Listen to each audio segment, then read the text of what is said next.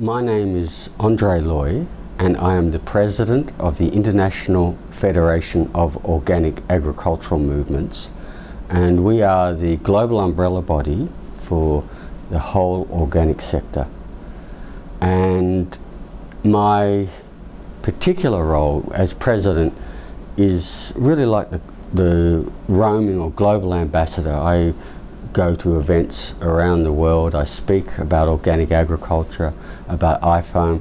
I also have meetings with uh, various organisations like people within the UN, with different industry groups, with governments, with ministers, about various aspects of organic agriculture.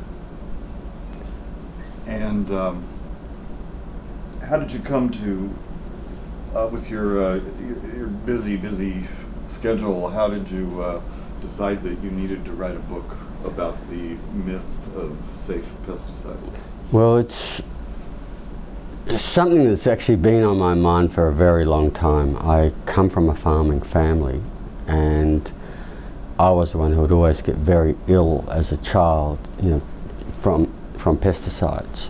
So I was always going to be an organic farmer.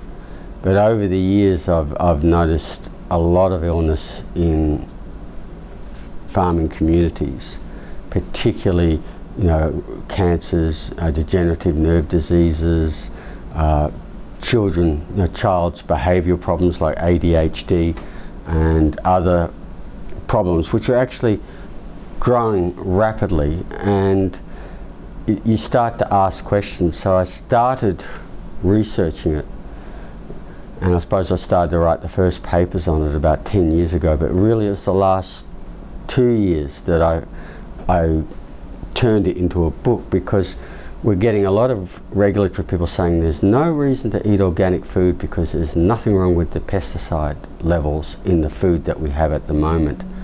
And I felt that that really needed to be, to be answered, so I started looking at the science what the world's best experts and scientists were saying over it and about it. And to my surprise, I learned that the regulatory authorities are, actually ignoring a large body of scientific research and making their decisions essentially on data-free assumptions when they should be using the best science to make their decisions.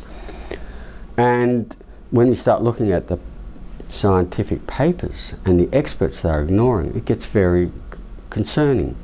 You know, there's organisations like the United States President's Cancer Panel and their recommendations, and they show how you know, about 80% of cancers come from environmental exposures, particularly chemicals and pesticides. This is being ignored. Um, the World Health Organization, the United Nations Environmental Program, put out a very good meta-study on how chemicals and particularly pesticides are endocrine disruptors. And this is very important for children and for the unborn because what, as an endocrine disruptor, they're disrupting the hormone system and disrupting the way hormones signal events when children start growing limbs, nervous systems, their brains, and this leads to a whole range of behavioural and other problems that last their whole life. And we know that when these chemicals work as endocrine disruptors, they can work in parts per trillion, which is the equivalent of one drop in three Olympic-sized swimming pools. And the standard testing can look at that at parts per million or bigger amounts, and it seems reasonably safe. But when we take it down to these very small amounts and they start acting like hormones, we're finding that they're very unsafe. And we need to make sure that every single pesticide and residue is actually tested at these small levels. At the moment, they are just using extrapolations and data-free assumptions as saying they're, they're safe. They have no evidence-based science to say that it is safe.